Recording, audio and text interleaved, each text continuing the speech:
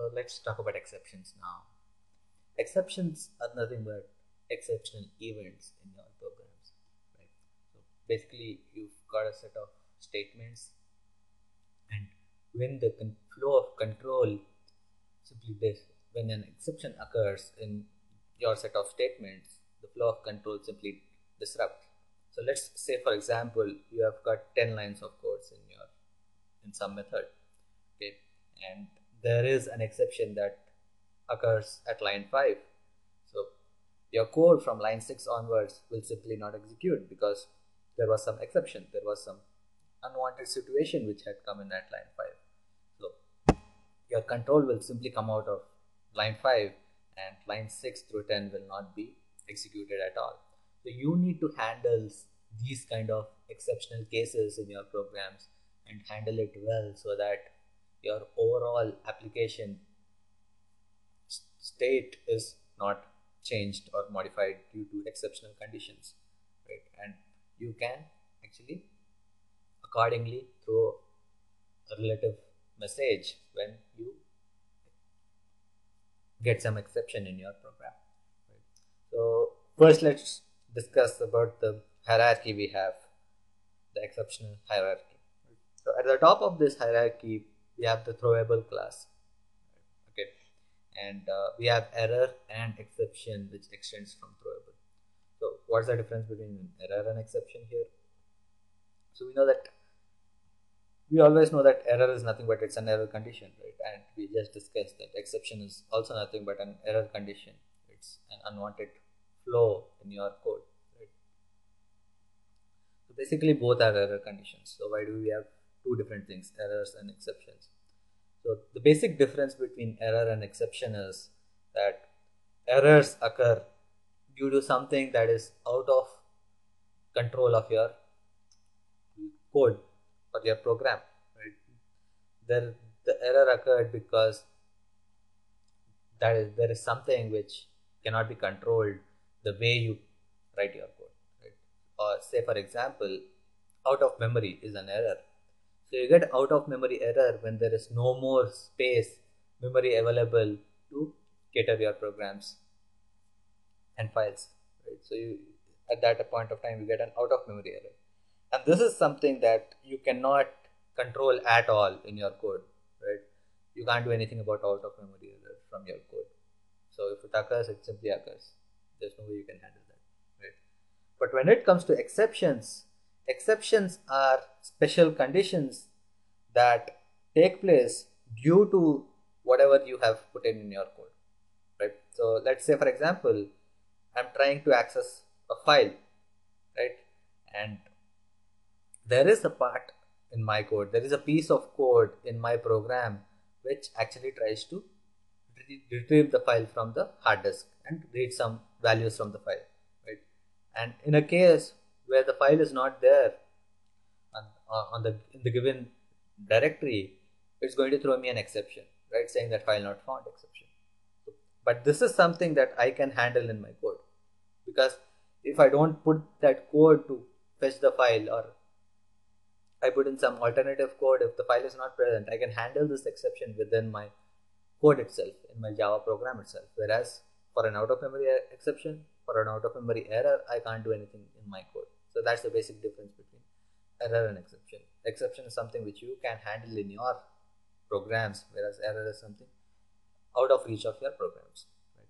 So again, when you talk about exceptions, you've got two different categories of exception. One is the checked exceptions and the other is unchecked exceptions. So there are certain exceptions that you compulsory need to check them. And what do I mean by checked exception. It means that i need to handle those exceptions. It means that whenever these kind of exceptions occur in my program i need to provide an alternative path to handle that exception right? And do whatever i need to handle and give the appropriate message to the user right? so say for example file not found exception. It is a checked exception. Wherever in my program i write i write a code to get a file, to fetch a file, I definitely need to handle a scenario where the file is not found. Okay, so if you don't handle exceptions which are checked, the compiler is going to throw an error saying that you have not handled these exceptions. And the other category is unchecked exceptions. So these kind of exceptions, even though they occur in your program, you don't have a liability to handle these exceptions in your program. You can simply skip them. So let's say, for example, you are working with arrays and uh, you are trying to fetch array values based on indexes, right? and uh, you just ran out of bounds. Right? Say the array length was 10 and you're trying to fetch a value from index 11, right? Position 11. It's going to throw an out of bounds array exception. But still, you can simply be safe by not even implementing, not even handling this exceptional conditions, right? So you need to know what are the checked exceptions and what are unchecked exceptions. So things like array out of bounds exception is an unchecked exceptions. You can handle this exception at the same time you can even ignore to handle this exception, right? So that's about the exception hierarchy and what the dif differences between all of those. Now let's see what will we do when we have an exception in our code. Let me just discuss what are different kinds of exceptions and what to handle, what not to handle. Now here whatever we will be discussing would be exceptions that, that be mainly checked exceptions, right? Because you don't usually handle unchecked exceptions. So here on whatever we would be discussing is would imply for checked exceptions. Okay. There are two things you can do when you have an exception in your code. Okay the first thing is you can handle the exception using the try catch finally block right? So what do you do here is whatever code that is that has that can throw an exception right? You put that in the try block right? So i'm assuming that whatever code I'm putting in this try block, there is a chance that it throws an exception.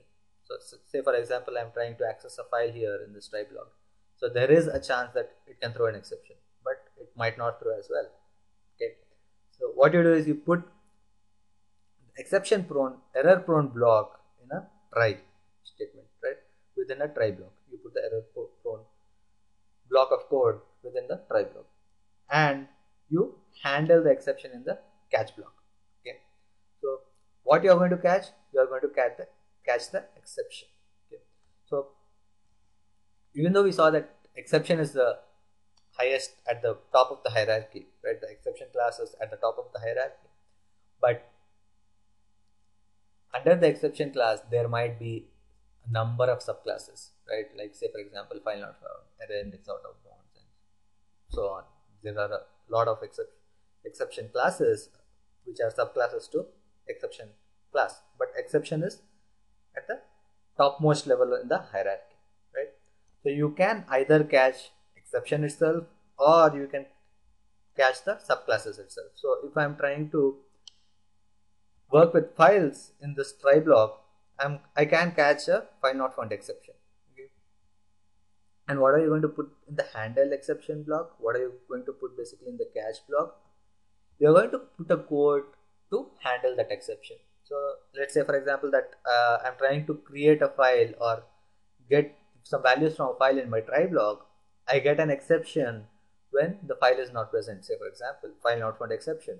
So i'm going to handle the file not found exception by giving that exception in the catch block, right? I'll, say catch file not found exception, and in this catch block, I'm going to give provide an alternative to that exceptional case, right? So let's say I'm, I'm simply going to give the user a message back saying that the requested file so and so is not found at the location, right? So that's that's what I'm going to do in the catch block. I'm going to handle the exception in some other, other way. And what's up with finally?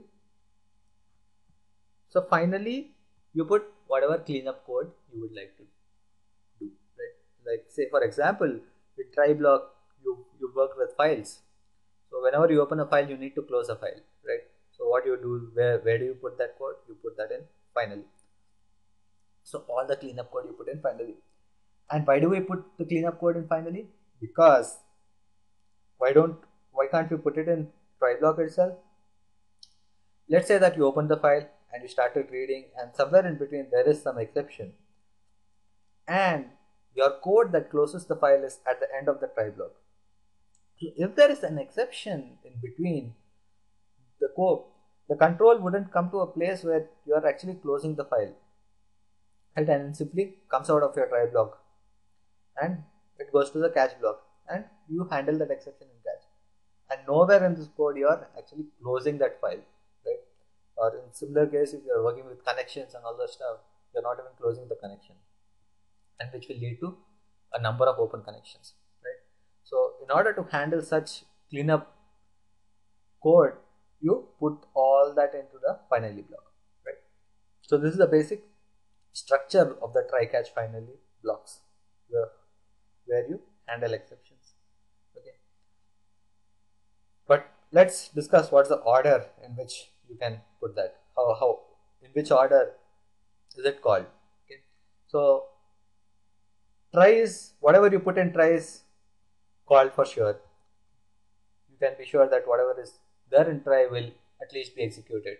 It will at least start executing that code unless there's some exception in between. Right? And if there is an exception, your control will go to the catch block where you can handle that exception. Right? And finally, your finally block will be called. Okay. Now let's assume there was no exception in my try block. What would have happened? My try block would have called would have been called and since there was no exception in my try block, my catch block will not be called, right? But my finally block would still be called. So irrespective of whether there's a, there was an exception in the exception code or not, or there was no exception in the try block, the finally block will be called for sure, right? So you can safely put all your cleanup code in your finally block because irrespective of whether there was an exception or not in the try block, your finally block will be called. Right? So this is the best place to put all the cleanup code. Okay. Right. So here's another scenario of try catch finally. So as we've discussed earlier, we can have a number of subclasses to the exception class. So one such example is file not found exception. So let's say I'm dealing with files in this try block here. Okay, so, and I want to handle these two conditions differently. I want to handle if there was a file not found exception, I want to handle that in a different manner. And if, if the file was found but there are some other error in my try block, I want to handle that in a different manner, right? So what I'm going to do now, I'm going to give multiple catch blocks here. So I'm going to say first I'm going to try to catch the file not found error. If there was file not found error ex exception it's going to handle that code in this in this catch block. But if, if there was no file not found exception it's going to handle that in this catch all block right? When i say exception all kinds of exception could, could be caught here right? So it's going to go into this this catch block this means that i can give any number of catch blocks right after the try block. But there is one rule to it. I should always catch the subclass exceptions first. So file not found is a subclass of exception class right? So i can put that before the place where i'm actually handling the exception block okay so if there was any exception class which is a subclass of file not found exception I need and I want to handle that exception as well I need to put that before the block where I'm actually handling the file not found exception. So you first handle all your subclass exceptions and keep going down handling your superclass exceptions so if at all you have any subclass exception put them first and in the end you are going to put the exception. You are going to handle, handle the exception class okay, which will take care of all the exceptions so we can so we can have multiple levels of catch blocks as well so this is one more way you can handle your exceptions using try catch finally. So this was about handling your exceptions. But there is one more thing when you can do when you have exceptions in your code, and that is you can throw exceptions to the method which actually call your method. Okay. So let's say there is a class which I have two methods, method A and method B. And from method A, I'm making a call to method B. Okay. And there was some exception in method B. Okay. And let's say that method B is nothing but this exception method here, right? I can simply say throws exception and I can write whatever code in my method without having to write the try catch finally combination kind of thing. Okay. So here what I'm doing is I'm simply throwing this exception to the method which actually made the call to the caller, right? So if method A calls method B and there was an exception in method B and I have this throws declaration for method B, it's simply going to throw that exception to the method that called this method. So that would be method A. So again in method A, I either have to handle that exception using try catch or I can again throw that exception to the higher method as well. So in the end, it simply goes up the hierarchy and keeps throwing the exception to the method which actually makes the call. So this is how you work with throws. So basically, when you have exceptions in your code, these are the two things you can do. You can either handle your exceptions using try catch handle or you can throw the exception to the method which actually call your method. So apart from these standard exception classes, you can write your own exception classes, right? And you simply write a class and say extends exception and there you are you have your own exception class. And you can throw and catch and handle your own exception class in a similar fashion as we have seen here. Okay? All right so now that we have discussed what the whole flow would be for exceptions let's just have a look at, at this visually. What all you can do when when you come to exceptions. What are the what's the flow in your try catch block? Okay? So first you put all your exceptional code in a try block, right? And then you're going to see handle exceptions in catch block. Do you want to handle exceptions in catch block or not? So one thing probably I forgot was it is not really mandatory to have a catch block as long as you have a finally block, right? So if you want to skip the catch blocks, you can skip them, but you definitely need to have a finally block them? At the same time, the finally block is not really mandatory. You can simply ignore finally block. So you can simply have a try catch combination or you can have a try multiple catches finally combination or you can have a try catch finally combination or you can have a try and finally combination. So these are the one of the you should have one of these four combinations in your try catch thing. Okay. So let's see here. So first you are going to check if do you want to handle any exceptions? If yes, you're going to handle that exception in the catch block. Okay. Now you're going to see if you want to handle any more exceptions. Any more exceptions in the which are nothing but super classes of the exception which you just handled, right? If yes, again handle that exception and again make that check. If you're done with handling all the exceptions, you're going to check if you want to execute the finally block, right? If yes, put the cleanup code in finally block and end your try catch. Okay. So similarly here in handle exceptions, if you don't want to handle any exceptions in the catch block, as I said, you should have a finally block here, right? And you put the finally block and end it here. And if you handle exceptions, it would go here, right? And once you're done with exceptions, you have a choice. You can ex execute finally or you can simply ignore finally. If you want to ignore finally, simply go here no and you can end your try catch finally. So this is all about exceptions.